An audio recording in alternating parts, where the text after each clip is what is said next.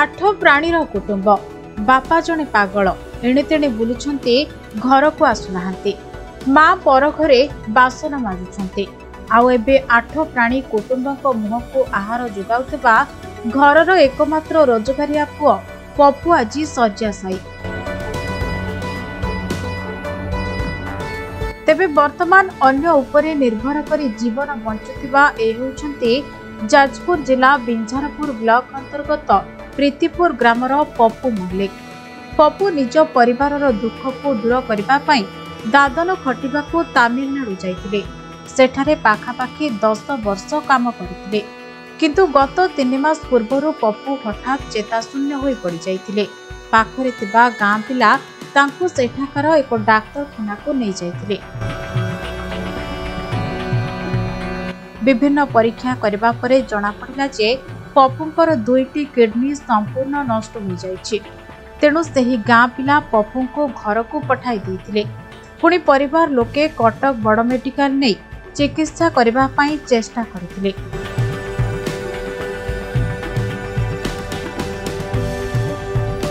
କିନ୍ତୁ ପପୁ ଭଲ ହେବା ପାଇଁ ଅନେକ ପଇସା ଲାଗିବ ବୋଲି ଡାକ୍ତର କହିଥିଲେ। ତେଣୁ ଅର୍ଥ ଅଭାବ କାରଣରୁ ପରିବାର ଲୋକ ତାଙ୍କୁ ଘରକୁ ନେଇ ଆସିଥିଲେ। ପପୁଙ୍କ ବାପା କୈଳାସ ମଲ୍ଲିକ ଜଣେ ମାନସିକ ବିକୃତ। ସେ କେଉଁଠି ଖାଆନ୍ତି କେଉଁଠି ଶୁଅନ୍ତି ତାର କିଛି ଠିକଣା ନାହିଁ। ମା ପର ଘରେ ବାସନ মাজନ୍ତି ଏପଟେ ଘରେ ପପୁଙ୍କୁ ମିଶାଇ ଆଠ ପ୍ରାଣୀ କୁଟୁମ୍ବ। ଆଉ ପପୁ ଥିଲେ ଏ ପରିବାରର ଏକମାତ୍ର ରୋଜଗାରକ୍ଷମ ବ୍ୟକ୍ତି। ତେଣୁ ପପୁଙ୍କ ଦେହ ଖରାପ ପରେ ସମ୍ପୂର୍ଣ୍ଣ ପରିବାର ବର୍ତ୍ତମାନ ବେସାହାରା ହୋଇପଡ଼ିଛନ୍ତି। ଓଳିଏ ଖାଇବା ପାଇଁ ପାଖରେ ଅର୍ଥ ନାହିଁ।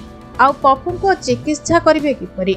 ବୋଝ ଉପରେ ନଳିତା ପିଡ଼ା ପରି ରାସନ କାର୍ଡରୁ ପପୁଙ୍କ ନାମ କଟିଯାଇଥିବାରୁ ମେଡିକାଲରେ ସରକାରୀ ସହାୟତା ବି ପାଇପାରୁନାହାନ୍ତି।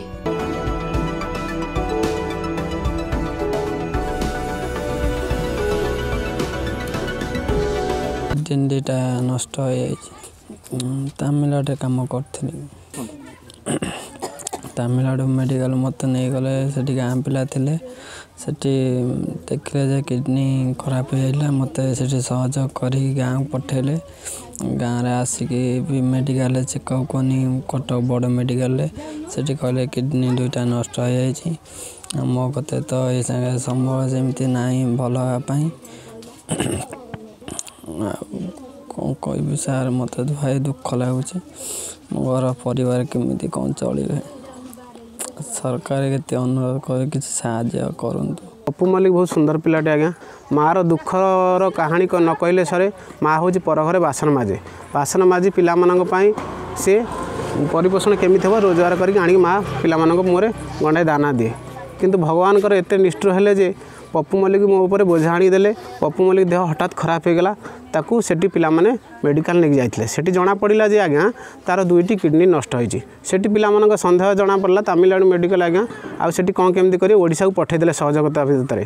ଏଠି ଆସିକି ପହଞ୍ଚିଲା ପରେ ପପୁ ମାଲିକ ପାଖରେ ପଇସା ଆଜ୍ଞା ନଥିଲା। ଗାଁ ଲୋକ ଚାନ୍ଦା କରିକି ମେଡ଼ିକାଲ ଏସି ମେଡ଼ିକାଲ ଆଜ୍ଞା ନେଇକି ଗଲେ। ସେଠି ଜଣାପଡ଼ିଲା ସମ୍ପୂର୍ଣ୍ଣ ଭାବରେ ପିଲା ପପୁ ମାଲିକର ଦୁଇଟି କିଡ଼ନୀ ନଷ୍ଟ ଆଜ୍ଞା। ସେଇଟା ତାଙ୍କ ମାଆ ଉପରେ ଶୁଣି ବର୍ଜର ପଡ଼ିଛି। ପିଲାଟା କେମିତି ସୁସ୍ଥ ହେବ ମା ପର ଘରେ ବାସନ ମାଜେ ତାହା ବି ଯାଇପାରୁନି ଆଜ୍ଞା। ପିଲାମାନେ ଏ ଶୁଣି ଖାଇବାକୁ ଗୋଳେ ମୁଠେ ପାଉନାହାନ୍ତି। ବାପ ଏକଥା ଶୁଣି ଆଗରୁ ପାଗଳ ହେଇଥିଲା ରୋଜଗାର ନଥିବାରୁ ବାପ ଘରେ ନାହିଁ ଆଜ୍ଞା।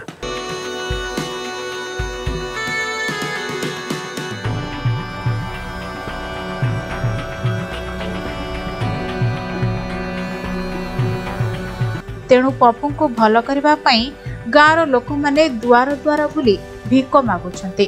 ଆଉ ପପୁ ଭଲ ହୋଇଗଲେ କେବଳ ପପୁ ନୁହେଁ ପୁରା ଆଠ ପ୍ରାଣୀ କୁଟୁମ୍ବ ବଞ୍ଚିଯିବେ ବୋଲି କହିଛନ୍ତି। ଆଉ ଯଦି ସରକାରଙ୍କ ସହ ଓଡ଼ିଶାରେ ଥିବା ସହୃଦୟ ବ୍ୟକ୍ତିବିଶେଷ ମାନେ ନିଜ ସାମର୍ଥ୍ୟ ଅନୁଯାୟୀ ସାହାଯ୍ୟ କରନ୍ତି ତେବେ ପପୁ ନିଶ୍ଚିନ୍ତ ଭଲ ହୋଇଯିବ ବୋଲି ଆଶା ରଖିଛନ୍ତି।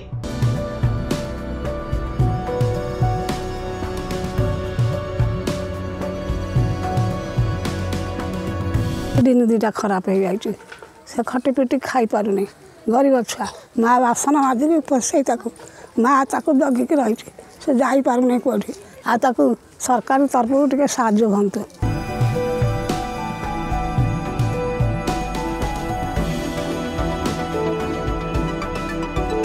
ତେବେ ଯଦି କୌଣସି ସହୃଦୟ ବ୍ୟକ୍ତି ପପୁଙ୍କୁ ସାହାଯ୍ୟ କରିବାକୁ ଚାହୁଁଛନ୍ତି ତେବେ ପପୁଙ୍କ ଏହି ଆକାଉଣ୍ଟ ନମ୍ବରରେ ପେମେଣ୍ଟ କରନ୍ତୁ। ଆକାଉଣ୍ଟ ନମ୍ବର ହେଉଛି three seven nine six zero one triple zero double zero two six five six. IFSC code IOBA triple zero three seven nine six এবং ফোনপে নম্বর ହେଉଛି nine double one four nine seven eight seven five nine. ବିଞ୍ଝରପୁରରୁ Biswajit Nayak report ସମୟ live